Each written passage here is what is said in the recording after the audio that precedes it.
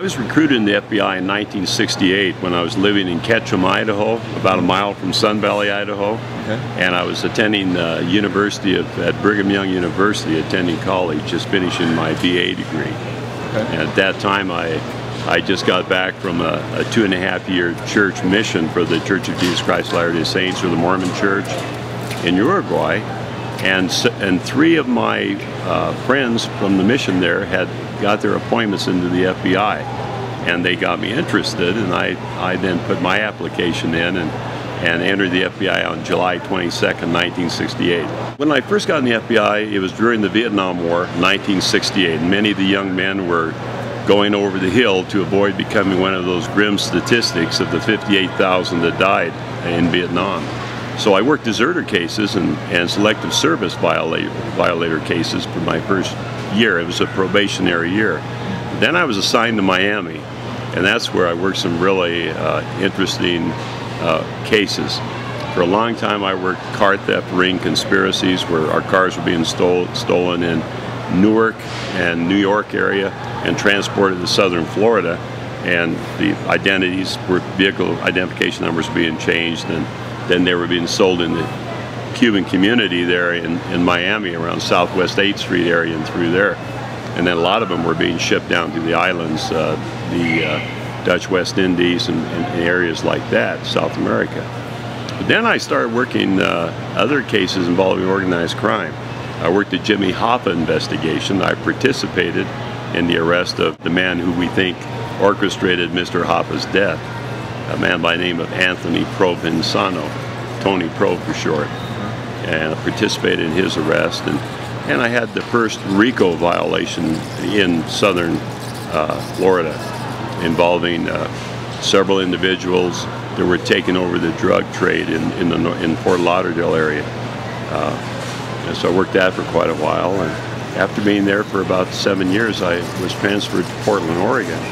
And while in Portland, I was assigned to work timber theft investigations with the U.S. Forest Service out in the Mount Hood National Forest. Big difference between organized crime in Miami and working the, the forest of, uh, of Oregon.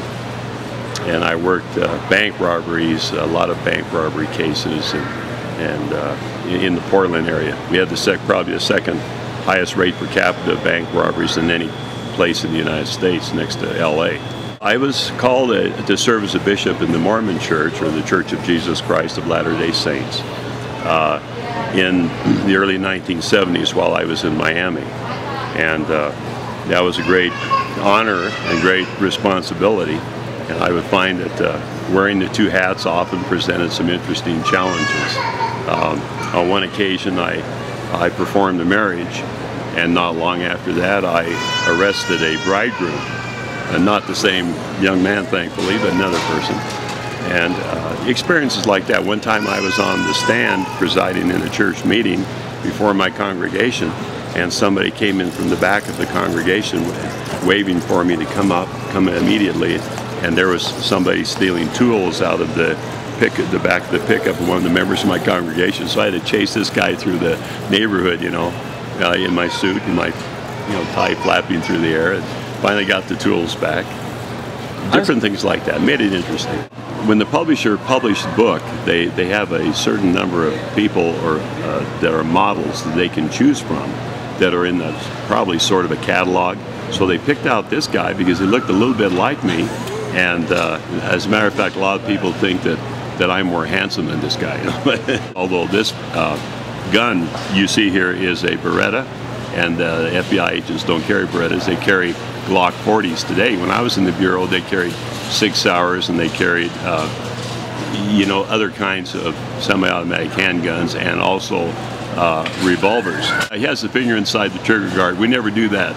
That's a no-no. Well, some of the some of the programs are pretty good. They, they get pretty close, but others uh, are, are just too streamlined and, and uh, everything happens too easily, like getting a search warrant, where it might take uh, me several hours to get a warrant. They can get one, you know, just like that. Or getting a, a what we call a Title III for a wiretapping.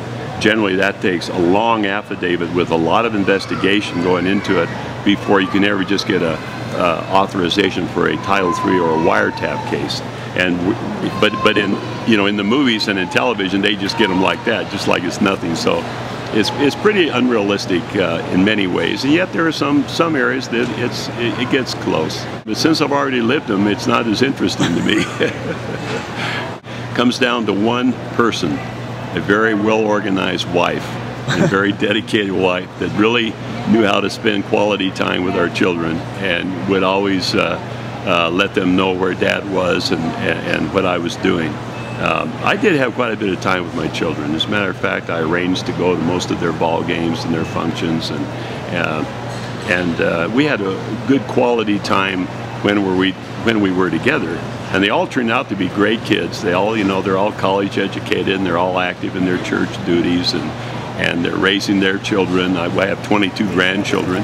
They're all doing a really good job that way. 1998.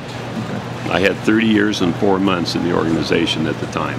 Wow. I had 20 years in as a SWAT team member and 30 years as a special agent investigator. My lecture for various cruise lines, right? And I, am authoring my. I, I published my first book, the one that you saw. There's 37,000 copies that have sold since it was released in August of this year, in six months. So it's pre doing pretty good. My second book is a work of uh, fiction, but it's based on historical fact and it's going to be about the borders, the problem on the southern borders with drug cartels and, and with Ill illegal immigration issues along the Mexican border. Um, and I go into a lot of research and, and, and fact and, and, concern there because that's a huge concern for me, the porous nature of our southern borders, and I don't believe that we're doing enough to keep it safe and secure. It could be cartels and combinations. Uh, it could be Fruits of the Field. I'm kind of going back and forth between uh, two different titles, but it'll be on my website uh, soon, www.mikemcpheters.com. If you want a good look at the FBI from the inside, uh, how relationships are among between among agents and children and spouses, and and how we and, and, and between each other, uh, read my book. Uh, if you want to find some real action-packed stories about my work with the with the uh, mob and uh, with organized crime and with uh, uh working drug cartels, bank robberies, uh, kidnappings, extortions, a shootout that I had in Elgin, Oregon. Uh, if you want to read some good, interesting reading, check out the book. It's called Agent Bishop: True Stories from an FBI Agent Moonlighting as a Mormon Bishop. Thanks for your time today.